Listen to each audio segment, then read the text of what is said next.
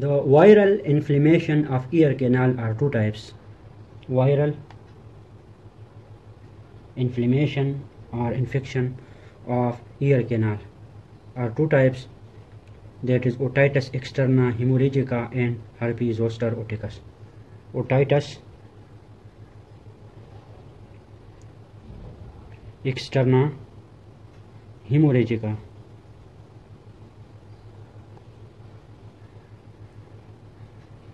otitis externa hemorrhagica and herpes zoster oticus herpes zoster oticus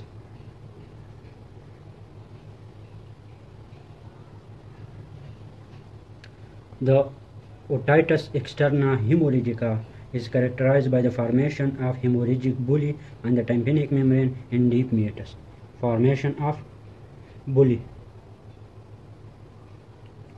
Formation of bullae on tympanic membrane and deep meatus. The formation of bullae are formed on the tympanic membrane in deep meatus. In the cases of otitis externa hemorrhagica. They are the viral inflammations of the ear canal. They are mostly seen in influenza epidemics. They are seen in influenza epidemics. Influenza epidemics. In the influenza epidemics, the formation of bullae on the tympanic membrane in deep meatus are formed in this condition is called otitis externa hemorrhagica. The condition causes severe pain in the ear and blood-stained discharge when the bullae rupture. The blood-stained discharge appear.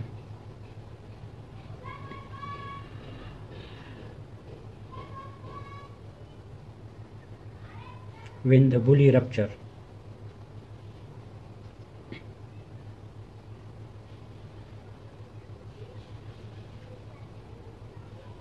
When the bullae rupture this, the blood-stained discharge appear.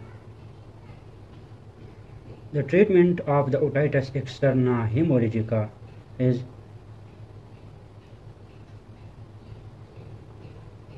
directed to give the relief from the pain. We use analgesic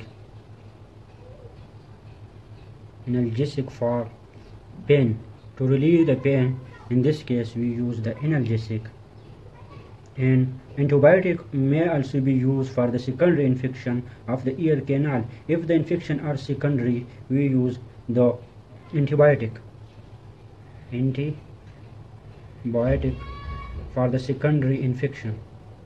For the secondary infection we use the antibiotic The second number viral inflammation of the ear canal is the herpes zoster oticus. The herpes zoster oticus is the formation of vesicle on the tympanic membrane, meatal skin, concha, and post-auricular groove may be involved. There is the formation of vesicle. Formation of vesicle on the tympanic membrane, meatal skin,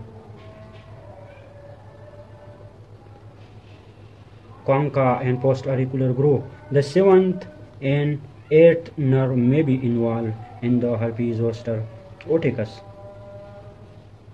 The drug treatment is NSAIDs to relieve the pain and ear toilet to clean the ear and antibiotic if there is the secondary infection and these vesicles must be removed.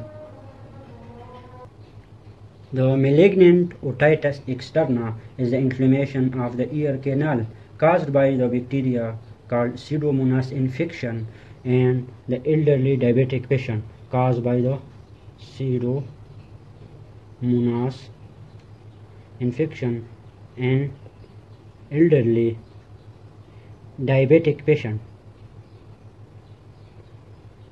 In the elderly diabetic patient, the Pseudomonas in, uh, cause the infection and they cause the malignant otitis externa. They also be caused in the immunosuppress drugs. In the immunosuppression patient, the, these malignant otitis externa may also occur due to immunosuppressive drug. Due to immunosuppressive drugs because the immune system of the patient is suppressed and there is the chances for the pseudomonas bacteria to cause the malignant otitis externa. They resemble the diffused otitis externa, but there is excruciating pain and appearance of granulation in the ear canal. There is appearance of granulation. Granulation appear in the canal that differentiate the diffuse otitis externa and the malignant otitis externa. In case of the malignant otitis externa, the granulation appear in the canal and there is excruciating pain. Facial paralysis is common. There is also the facial paralysis in cases of the malignant otitis externa. The infection may spread to the skull base and jugular foramen causing multiple cranial nerve palsy. The infection may spread to the skull and they also cause multiple multiple cranial nerve palsy cranial nerve palsy also occur in cases of the malignant otitis externa. The infection of the malignant otitis externa can also spread to the temporomandibular fossa posteriorly to the mastoid and medially into the middle ear and petrous bone. The infection can also spread to the temporomandibular fossa can also spread into the uh, temporomandibular fossa and they also spread into the petrous bone also spread into the petrous bone. The diagnosis of the malignant otitis externa there is severe otalgia in the elderly diabetic patient. The patient is diabetic and in this diabetic patient there is severe otalgia or earache. Otalgia. Otalgia means earache and with the appearance of granulation tissue in the external canal there is appearance of granulation tissue. Tissue in the ear canal This granulation tissue seen on the otoscope and there is the diagnosis of the malignant otitis externa with the appearance of the granulation tissue in the ear canal and the patient is diabetic and severe otalgia otalgia in the diabetic patient. The CT scan may show bone destruction but it is often not helpful the gallium-67 is more useful in the diagnosis and follow-up of the patient. Gallium-67 is more useful in the diagnosis, more useful in the diagnosis of the malignant otitis externa in the elderly diabetic patient. It is taken up by monocyte and reticuloendothelial cells and indicative of the soft tissue infection. There is the monocyte and reticuloendothelial cells and these endothelial cells there is the monocyte monocyte and reticuloendothelial cells these indicate infection these indicate infection on the gallium 67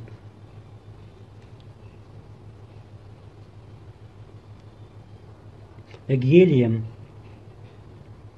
the gallium 67 can be repeated every the gallium 67 can be repeated every 3 month the sorry every 3 weeks to monitor the disease every 3 weeks to monitor the disease for monitoring. The gallium 67 is repeated every 3 weeks for monitoring the diseases. The treatment for the malignant otitis externa is the co control of diabetic. That is control of diabetic.